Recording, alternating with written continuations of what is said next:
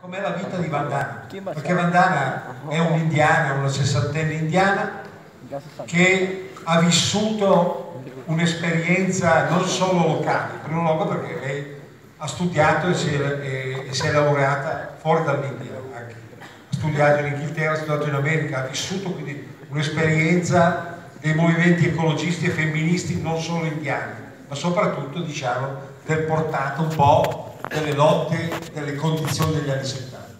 E quindi credo che la possiamo accogliere con il rispetto che si deve a una combattente, a una che lotta e che non ha ancora smesso di lottare. Vandana.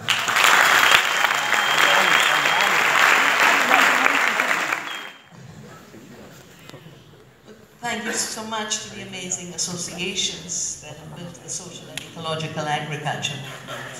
Here to the regional government that has a vision, to the amazing presenters this morning, um, and to the young people here.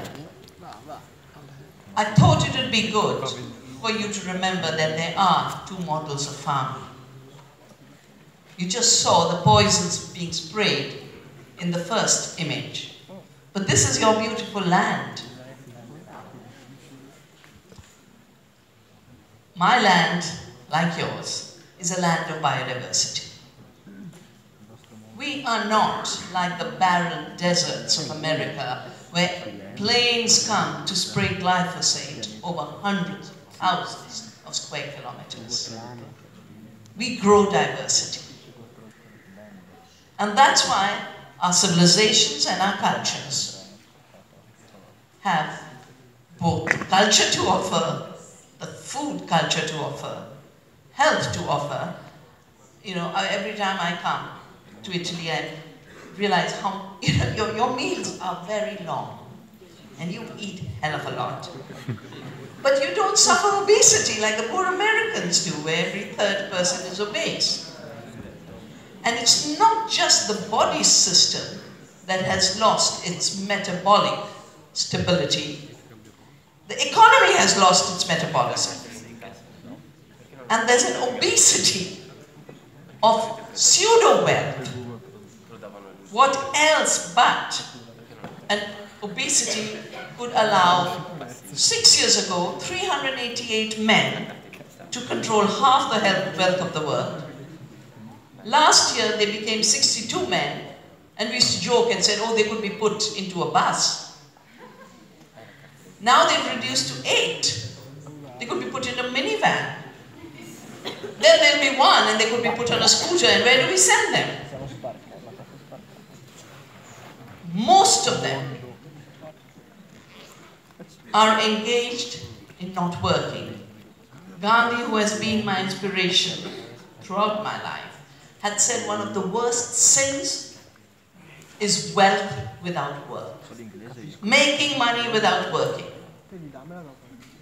And the reason food and agriculture is so important is real food comes from working. Gandhi called bread labor. He says it's the most dignified kind of work. Working for your bread. And your social agriculture has brought dignity to all through that bread labor. I got involved in protecting diversity in doing ecological farming because I saw that destructive model destroy the most prosperous state of India, Punjab, the land of five rivers, from where I noticed there are many people. I visited the recycling company yesterday, and there was a very large number of people from Punjab working there. in 1984, Punjab had erupted in violence. The military was sent. Today, it's a land where 75% young people are drug addicts. The water of the rivers is finished, the groundwater is finished. There's a train that leaves Punjab called the cancer train. Now the Green Revolution, which was the name given to chemical farming, was given a Nobel Peace Prize. It didn't create peace in Punjab. It has left war against the land, war against people, war between people. And that same year was the horrible genocide of Bhopal, where a pesticide plant leaked in the middle of the night, 2nd of December. Cold, everyone sleeping, and this poison gas just moved across, killing people. 7,000 dead in one night. People are still dying. Children are still being born maimed. I realized then something is wrong way we do agriculture. I wanted to know why do we have poisons in farming? Why? And found out through my research for the United Nations that because the companies that made chemicals in war after the war said, wow, we can sell these as agrochemicals. They changed our idea of agriculture and our idea of food in order to create a market.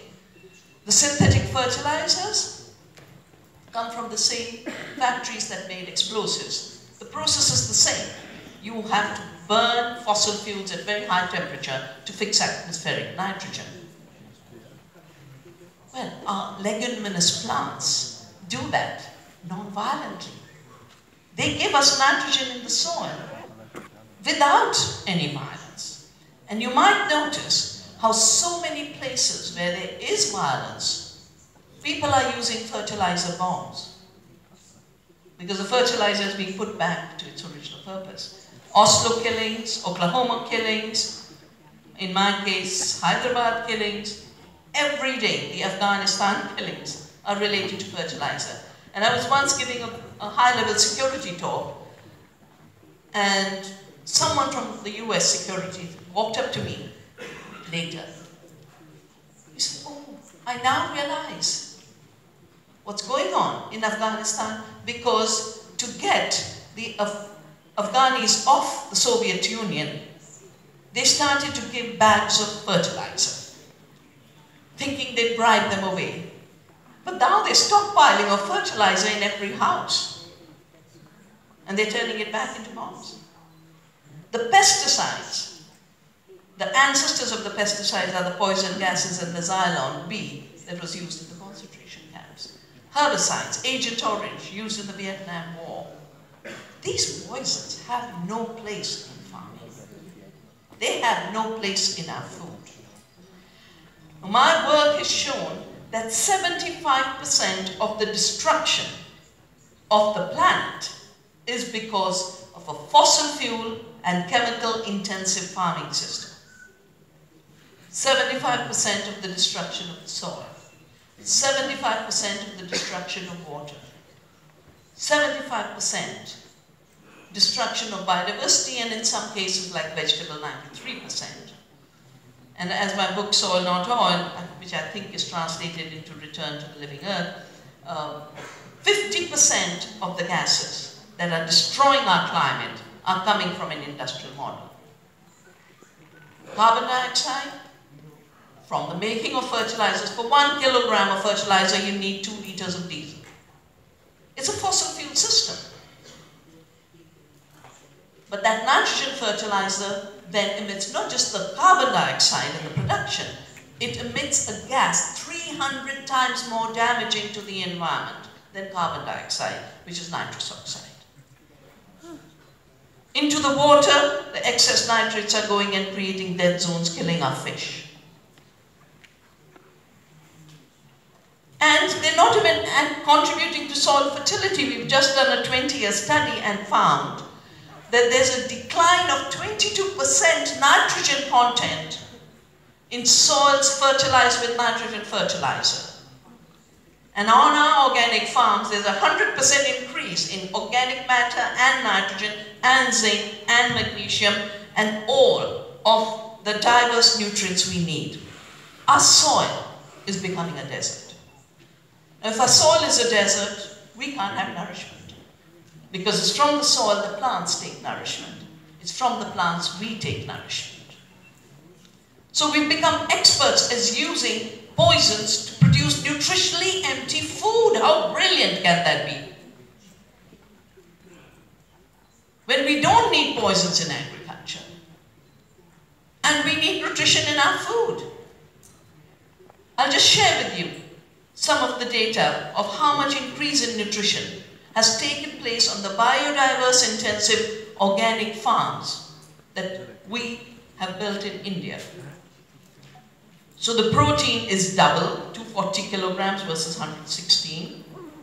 Um, vitamin C, 24,000. Calcium, 2,000 versus 700. Magnesium is higher. Zinc, in which there's huge deficiency, and a public health expert from Australia was visiting me. When she saw our data, she says, oh, I now understand it's related to food because half of the Australian teenagers have zinc deficiency and are tending towards depression. Because every tiny micronutrient and trace element in the soil and in our food is vital to the maintenance of food. The soil is one of the richest systems of biodiversity that we have. Agriculture textbooks made for the chemical age wrote, the soil is an empty container for pouring nitrogen, phosphorus, potassium into it. No, soil is humus. And it's from humus we derive the word human. We are a society to the extent we have fertile soils. And we in Navdanya have done um, a manifesto called Terra Viva two years ago, you know, when the ships were coming in and the boats were sinking, coming to Lampedusa. It was the year of soil, and we felt we must address the connection between the refugee crisis and the soil crisis. So we looked at the two places where the big refugee exodus was taking place. One was Syria, the other is Africa. So take Syria. In the year 2009, they had a severe drought. Now, you can have a drought, but if your wells have water, you still survive. And if your soil has organic matter, for 0.5% organic matter, you can hold 80,000 liters in the soil. The drought doesn't wipe out agriculture. But when you do chemical farming and you've used 10 times more water to grow the same amount of food, your wells are dry, your soil is desertified, it's a collapse. So a million farmers of Syria moved to the city. When they moved to the city, they wanted help. Structural adjustment, the kind of austerity you are going through too. But it's all over the world, austerity. The programs of World Bank say, sorry, you can't support your farmers. So the farmers started to get armed, there was help from international bodies, everyone is in Syria now trying to get their piece of cake. Half of the Syrians are living outside their country as refugees. Or take Nigeria and the rise of Boko Haram. 22,000 square kilometer lake dried up because 80% of the water was being diverted for industrial chemical commodity farming. The lake started to go dry. The same is the case with every lake and every land-based sea. Just look at the um, Aral Sea. Dry. Because chemical farming is a very thirsty farming because it destroys the organic matter in the soil, so you have to irrigate all the time. And the chemicals you apply need water to dissolve because they're salts. As peasants tell me in India, when we apply chemicals without water, our crops burn. So I say irrigation in chemical farming is merely a dissolver of unnecessary chemicals. It is not playing a role for the plant health. It's not playing a role in helping you grow. So your drought of this year has been aggravated because of monocultures and because of chemical farming. Because your ecosystem has that much less capacity. So we face four really big challenges. And your generation is the generation that will play the role to decide whether yours is the last generation or the first in a new world.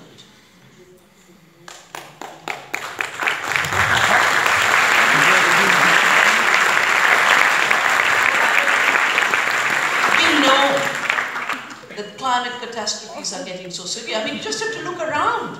Look at Puerto Rico. My country flooding displaced 50 million people this year. Houston, Florida, I mean, you can barely breathe, and there's another disaster.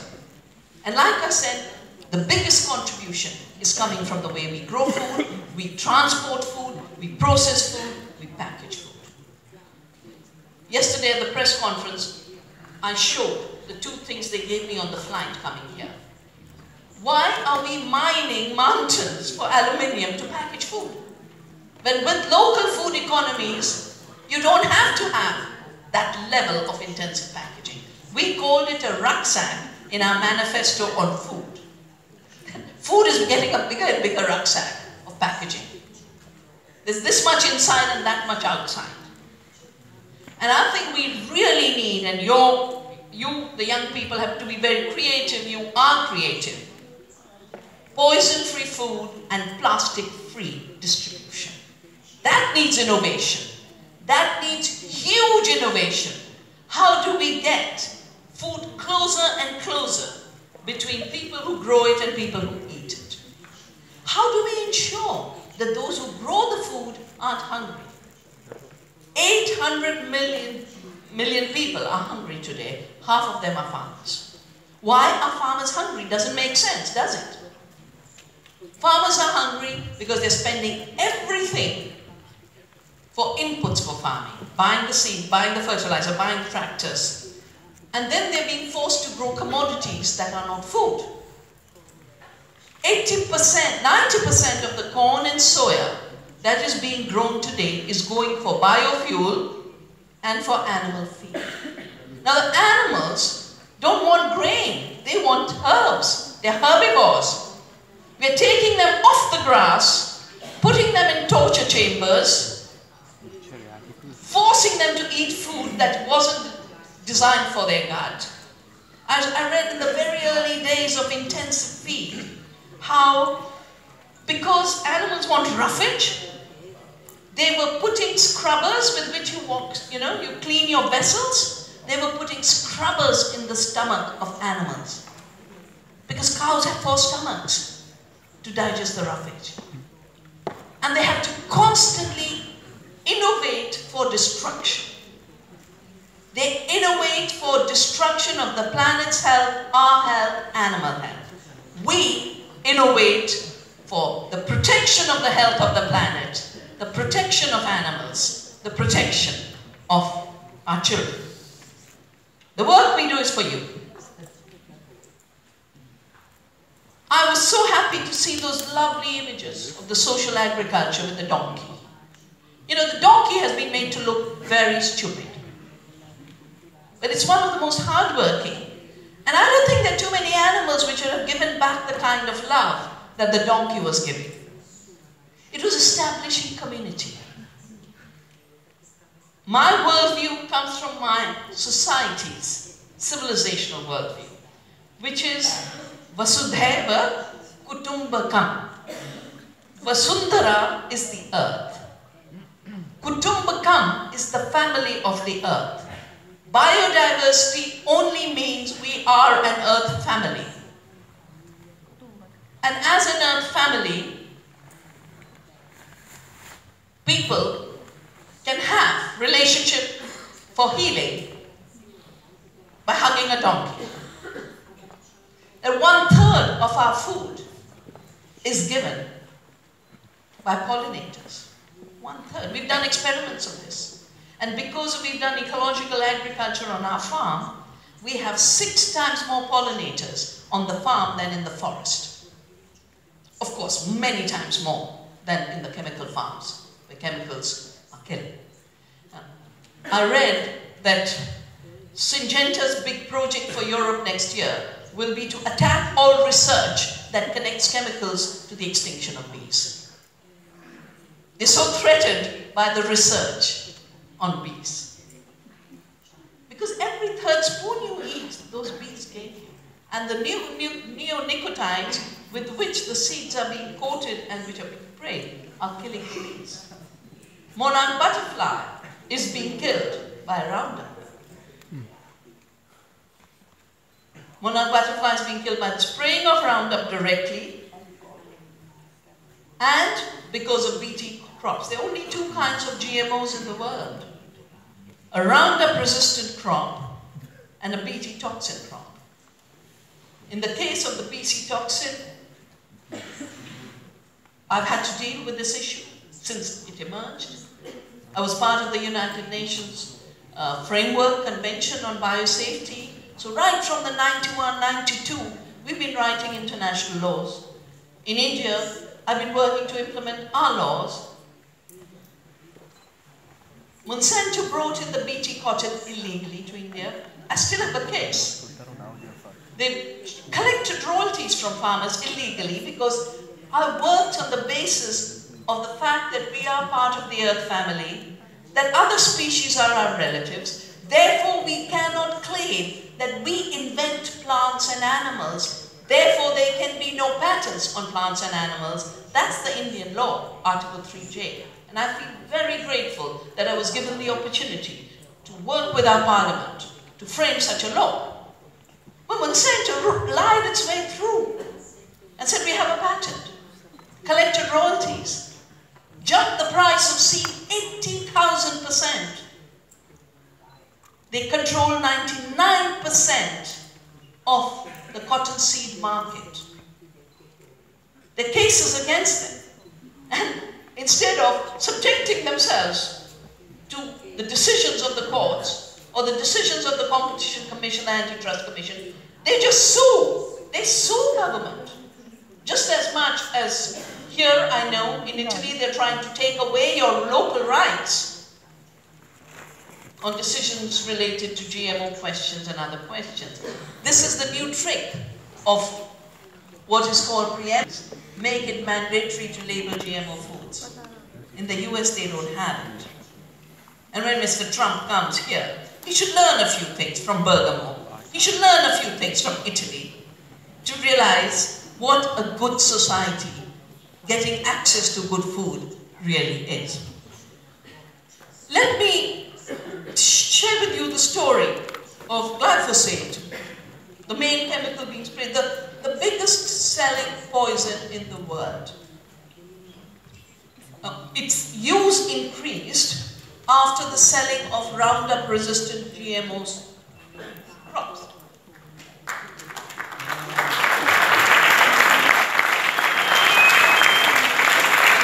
And in fact, I have another case in India because we caught them illegally introducing Roundup resistant cotton. We got the test done. The test was sent to the government. The government now is waking up. But I feel very bad that so many governments sleep, and I'm, that's why I'm so happy to be in Bergamo. But you don't have a sleeping provincial government, and I think you don't have a sleeping regional government either, just reflecting on the kind of work you all are doing. So the glyphosate use has shot up. The WHO has said it's a carcinogen. Thousand people in the United States have sued Monsanto because they got cancer. 1,000 people. What was glyphosate? What, what does it do? It kills anything green. It kills plants. And when you have a biodiversity framework, a chemical whose purpose is to destroy biodiversity is a criminal act in itself. Because our duty is to protect biodiversity. We have a convention on biological diversity. We have biodiversity laws in our countries. So I started to fight them way back when they said, we now are introducing seeds that prevent the weeds from stealing the sunshine. So I said, what you call weeds is our food. We grow wheat with chickpea. For you, the chickpea is a wheat. We grow nine kinds of crops together. We grow 12 kinds of crops together. Navdanya, the movement I started, means nine crops. There's so many volunteer crops that grow in good farming. All of them are useful. There's no plant that's been created that's not useful. Either it's a medicinal plant, or it's good for fodder, or it's good for vegetable. We offer classes in our farm where I have an Earth University, we offer classes of the wild edibles, where people will go collect from the farm all the unintended crops, which are some of the most nutritious crops.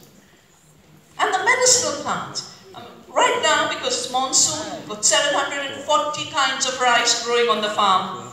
But more than that is the hundreds of species that grow themselves. Lovely plant, that big, that is the only cure for jaundice, hepatitis, and liver damage. It rebuilds the liver.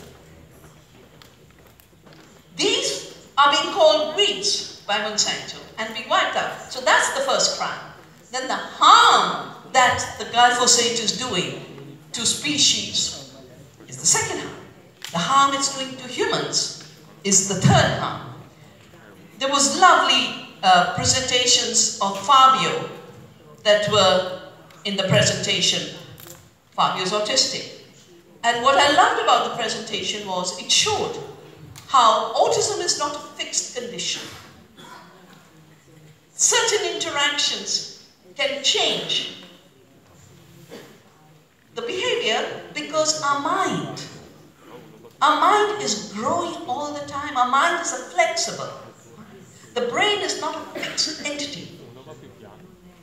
Now, on the one hand, social farming allows Fabio to start talking, allows him to communicate, allows him to ask. And I love the fact that he's saying, I like this machine because it doesn't do harm to the tree. Yeah? Because it's not a violent attack. But I also look at data in America. Five years ago, 1 in 65 American kids was autistic. Two years ago, it increased to 1 in 35. The graph of glyphosate, Roundup Ready crops, and autism is growing like that, in tandem. The prediction is, from the Center for Disease Control, that one in two American children will be autistic in this model of farming. And the reason why neurological problems like autism, Parkinson's, Alzheimer's, cancers, and all chronic diseases are growing. Chronic diseases are those which are not, um, which stay with you. You know, they're not a temporary infection. They're not communicable. And the bill of chronic diseases is really mounting. It's a huge burden on individual families, it's a huge burden on governments, and it's a huge burden on the future. Most chronic diseases are just called lifestyle diseases. Now, lifestyle means you choose your lifestyle. If toxics are forced on you, they're not lifestyle choices. So I call them food system diseases. They are created by the destructive food system. Coming back to the issue of glyphosate, Monsanto scientifically lied to say it cannot harm human beings. Because we don't have the metabolic pathway called the shikimate pathway that the plants have. And by disrupting that pathway is how the plants are killed. What Monsanto did not let you know is that we are only 10% human genes and human cells. We are 90% bacteria in our gut, between 10 trillion to 100 trillion microorganisms. And they have the shikimate pathway. So when residues of glyphosate come in the food we eat, many of those bacteria are killed. Now, we don't eat neurotransmitters. The bacteria create the enzymes which create the neurotransmitters. So food is not a static thing, just like our brains are not static thing. It's not stuff. Food is life. And when it's healthy living food, it gives us life. When it's food full of toxins, it takes away our health and our life. So the reason diseases are growing is because our gut which manages our health. It's called, it's being called the gut microbiome, the richest biodiversity on the planet. We just started to figure it out.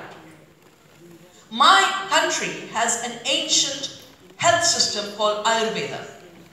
Ayurveda had figured this out not with a microscope, not with computers, but they said the central aspect of health is the digestive tract. And the food you eat is the main reason for health or disease. I just did a calculation, we wrote a book, we wrote, we've done three reports that take the work we've done and distill them into the paradigm we need to grow, the new paradigm. First is we are always told we are growing more food, we are getting rid of hunger. No, the industrial system is not growing food, it's growing commodities. And those commodities are creating hunger, not getting rid of hunger. They're creating malnutrition, they're creating disease. Nutrition comes from biodiversity. And when you measure the nutrition per acre in biodiversity intensive farming, as we have done in a report called Health Per Acre, where we measure nutrition per acre, not yield per acre, because yield is only an empty commodity measure. We need to measure the health in a food, the nutrition in a food. We did a true cost report, and our agriculture minister wrote the foreword. He was just using it in a meeting. Yesterday I was here. My team was with a meeting in the, with the agriculture minister. Um, because government's worried about the fact that 300,000 Indian farmers have committed suicide, that 70% peasants are trapped in debt, then we need to get out of this. So how do you increase farm incomes? The industrial farming is an extractive system that makes money out of farmers and pushes them into distress, that's why small farms disappear. That's why Indian farmers commit suicide. Through social and ecological agriculture, which combines sustainability, it combines fairness and justice, it combines inclusion, we have increased farm incomes 10 times. The government's target is how do we do it twice? He said, we help you increase farm incomes tenfold. And if farm incomes increase tenfold, nobody will leave the farm. Nobody will leave the farm. So we also did a calculation of what are the externalities. It's $1.2 trillion for social and ecological harm, and it's another $1.3 trillion for health burden for India alone. That's $2.5 trillion of harm that society bears. On a global scale, it will be between 20 to 30 trillion. All of those resources, all of that money, including the $400 billion subsidy, should be used to grow in agriculture that benefits the earth, the environment, the planet, our health, creates meaningful work. And this is going to be the big issue as we move into the future. Because Monsanto, who I call my best friend, has spent a century creating poisons to kill, 20 years pushing GMOs and glyphosate. Now it wants to cultivate farming without farmers. That's a slogan. Digital farming, farming without farmers. They bought the world's biggest climate data corporation. They want to sell climate data to farmers as a commodity. Like they made seed a commodity, now they want to sell climate data. They have bought the world's biggest soil data corporation. They want to sell soil data back to farmers rather than farmers knowing what their soil is in local labs working on soil. They're linking all of this to insurance and they're expecting to make $3 trillion annually out of selling insurance because of increased risks. They had aimed at 1 trillion for seed. For risk, they came and made 3 trillions out of farmers while they rob farmers. So for us, social and ecological agriculture is about a deep inclusion. You have taken such amazing steps by including those who are excluded on grounds of disability. But the farmers themselves are being excluded from farming, which is this idea of farming without farmers. That's why we need justice in farming. We need fairness in farming. My work has shown that only 1% of what the consumer pays reaches the farmer, the rest goes to the corporations. And when we talk of the corporations which are controlling farming, who are we talking about? We're talking of Monsanto merging with Bayer, Dow merging with DuPont, and Syngenta merging with, merging with ChemChina. A cartel of three poison makers. That's why I call them the poison cartel. And they want to shape every law everywhere. They want to take away all of the decentralized laws and, that you all have shaped. That's the world they would like. The contest that's on, and a contest in which you as Earth citizens, you as citizens, local citizens, you as citizens of Italy have to play a big role, is the transition. And not in an empty way, a transition that has been proven to be better. It creates, it produces more food, creates more jobs, gets rid of the climate instability, gets rid of centralized power, gets rid of poisons in our food, everything that it gets rid of is something we should be getting rid of. So the transition we must make is from a mechanistic idea that the brain is static. You know what they're saying about the gut? It's the second brain because more neurological activity is taking place while our food is being transformed by the gut than here. So take care of the second brain, which is your gut. We have to get rid of the mechanistic thought and go to ecological thinking from monocultures to diversity. I had such a wonderful time yesterday in the biodiversity garden. And I was looking at the amaranth, which is one of my favorite crops, and thinking of two things that that mechanistic, militaristic mind wants to push. So the Roundup, I'm finishing um, the Roundup ready crops have created super weeds. They didn't control weeds. So now they're saying we'll do gene drives, the new idea of editing life, and we'll do gene drives to wipe out the amaranth. And who has done the report? Bill Gates and the de defense research of the US. And there's a footnote there that says there will be a food security impact because Indians eat amaranth. No, it's not just a food security impact, it's an impact on the fact that it's a sacred crop for us. And the word means that plant that lives forever. And related to just visiting that farm and the amaranth was another. I remember, you know, I, I must have done, I think, about 30 issues of GMOs. Most GMOs we fought have failed. The two that are still around are failing, the BT and the Roundup. But they wanted to put amaranth genes into potato to increase nutrition. The protein in potato would be 2% more. But the protein in amaranth is 14%. So I said, you're not increasing nutrition by putting amaranth genes into potato, you're decreasing nutrition. This is going to be the next big thing. They're going to call it biofortification. Golden rice, GM bananas, would work because nutrition is all the nutrition.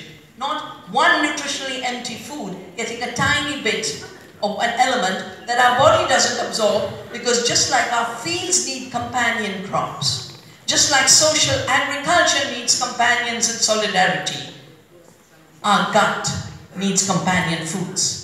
If you do not eat sour things, iron won't be uh, absorbed by your body.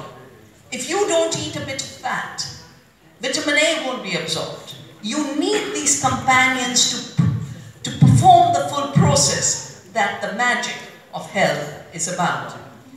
We definitely need to move from exclusion to inclusion. And for your generation, the exclusion is the fact that the five men controlling half the wealth of the world have basically said, you know, 99% people will be unemployed in the future. It's going to be a future without work. Robots will do the work, artificial intelligence, we don't need you. Well, the earth needs us, Society needs us, and we need creative work for meaning, dignity, identity. This will be the big issue you have to deal with. And we were told for 20 years globalization would get more food to more people. Sadly, we've got more hunger, and all we have is fake food. I say fake food because the microbes in our gut know it's fake. A natural sugar versus a high fructose corn syrup is hugely damaging to health. A, a native wheat that doesn't give you gluten allergies compared to the hugely bred and glyphosate-sprayed wheat that's giving gluten allergies. We need to have much more nutritional literacy and we need to turn food in the, into the ultimate place where we exercise our freedoms and our democracy. There was a lovely phrase used that we are making a peaceful revolution.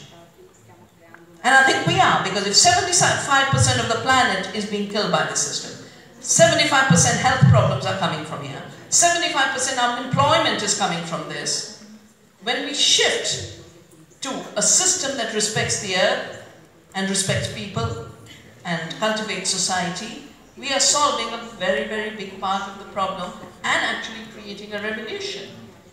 In conclusion, I want to say that, you know, next year I'm going to do a very big biodiversity congress in India.